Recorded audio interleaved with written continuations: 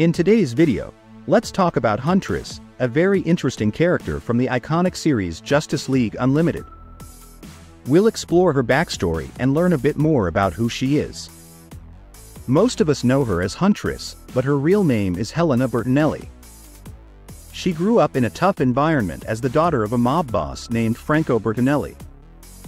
Tragically, when she was just a child, she witnessed a horrific event that changed her life forever. She saw her parents murdered by a man named Steven Mandragora, who was driven by a ruthless desire for power.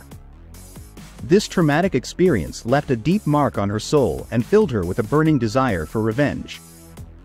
As she grew older, she dedicated herself to training and honing her skills, preparing herself to confront the man who took everything from her.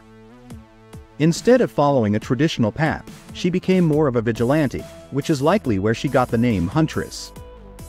After the Thanagarian invasion, Huntress became part of the larger Justice League team. However, there was a major problem. The Justice League had a strict code that prohibited killing or harboring vengeful thoughts.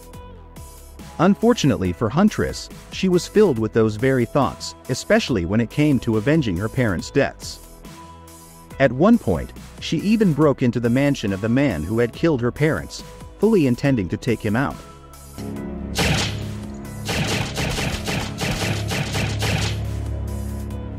If the man had been there, she would have killed him without a second thought. As a result of this confrontation, Huntress was kicked out of the Justice League. On what turned out to be her last day, she managed to convince the Question, a fellow hero who would later become her love interest, to help her track down her parents' murderer. They struck a deal, and together they set out on a mission fueled by her thirst for vengeance, which often put them at odds with the Justice League. When she finally had the chance to take her revenge and shoot the man responsible for her parents' deaths, something unexpected happened. She saw his young son running toward him, and in that moment, she was flooded with memories of her own childhood. She remembered the horror of witnessing her parents being killed, and it struck her that she didn't want another child to experience that same pain. Even though the man was guilty of terrible things, she couldn't bring herself to kill him in front of his son. Instead of killing him, she made a split-second decision.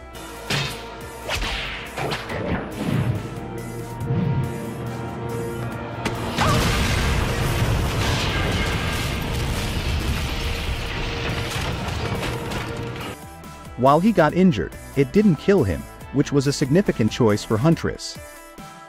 Her deal with the question was basically that in exchange for his help, she promised to give him information about Project Cadmus. However, the question was aware that she didn't really know anything about the project. Still, he agreed to assist her, knowing that the boy would be at the scene. He hoped to teach Huntress a lesson about the consequences of her actions.